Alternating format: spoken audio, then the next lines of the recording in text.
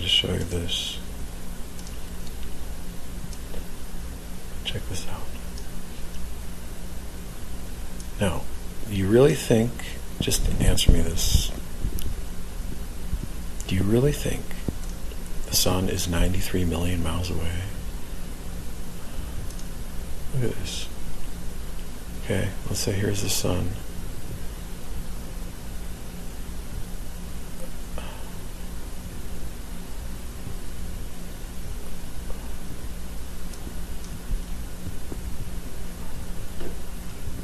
Keep going, keep going, keep going, keep going, keep going, keep going. Keep going, keep going, keep going. Keep going. We're at 45, 46 million kilometers. Here comes the first planet coming up. There it is. It's a dot. It's Mercury at 57 million kilometers. Keep going, keep going, keep going. Keep going, keep going, keep going. Keep keep going, keep going. We're approaching 85 million kilometers. 90 million kilometers. Wow, look at this. Look, another planet. It's a little bit bigger than a dot, too.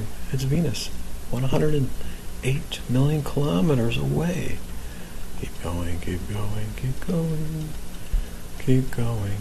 128 million halfway home, they say. Keep going, keep going, keep going. Oh, look at that. Earth! Now you're telling me this little dot, in comparison with that big yellow circle that's supposedly 93 million miles away, if this little dot tilts 23 degrees in one direction, it's going to change the temperature that significantly as it does from wintertime to summertime? Are you kidding me? No. The temperature would be constant throughout the entire surface, even the backside of the Earth, if that were the case. There would not be any temperature variance at all if the Earth was 93 million miles away. If this was the correct model of the universe, it just wouldn't be. It's just ridiculous, okay?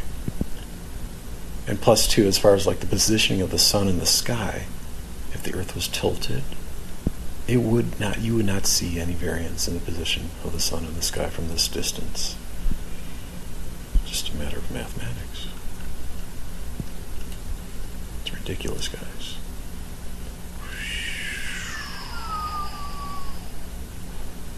So the heliocentric model is dead, it's bullshit. They all know it too. And you guys all fall for it. It's sad.